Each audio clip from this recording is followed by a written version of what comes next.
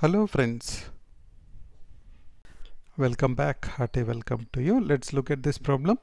If a plus b plus c equals to 180 degrees, then what is the value of sine square a plus sine square b minus sine square c?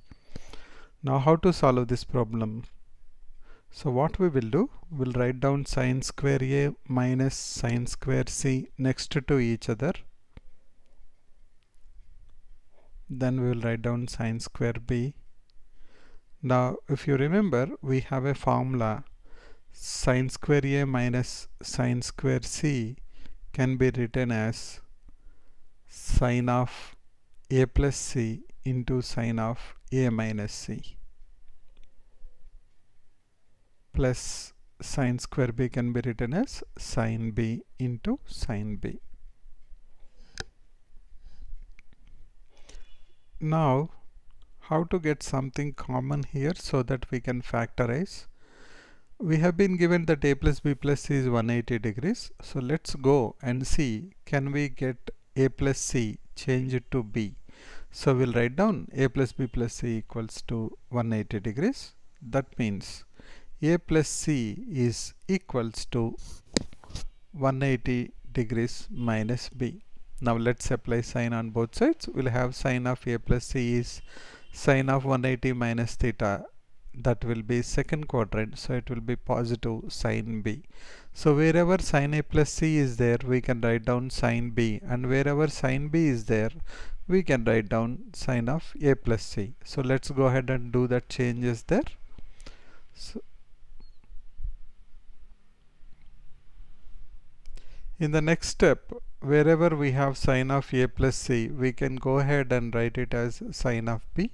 So I will change this to now sine of b into sine of a minus c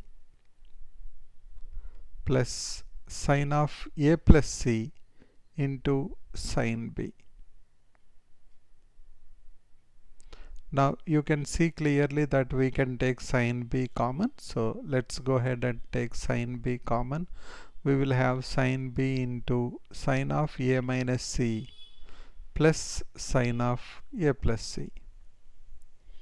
Now as part of trigonometric transformations we have formulas where we can change sum to product. And the formula goes like sine of c plus sine of d can be written as 2 sine c plus d by 2 and cos c minus d by 2. We'll repeat again sine of c plus sine of d is equals to 2 sine of c plus d by 2 and cos of c minus d by 2. Now let's come back to the problem and try to apply this formula instead of a minus c and a plus c a plus c is our c and a minus c is d. So in the next step we can write down that is sine b into applying the formula we'll have 2 into sine of c plus d by 2 that means a plus c plus a minus c by 2 multiply that with cos of a plus c minus of a minus c. Can I write down minus a plus c divided by 2 we just skipped one step here but you should be able to understand that easily. Now we can go ahead and cancel inside the uh, trigonometric ratios. The angles c and c will cancel a and a will cancel. Simplify that. We will have sine b into 2 sine 2a by 2 is a so I can write down 2 sine a into cos of 2c by 2 is c so I can write down cos c or that is equals to 2 sine a sine b cos c. That is what we are looking for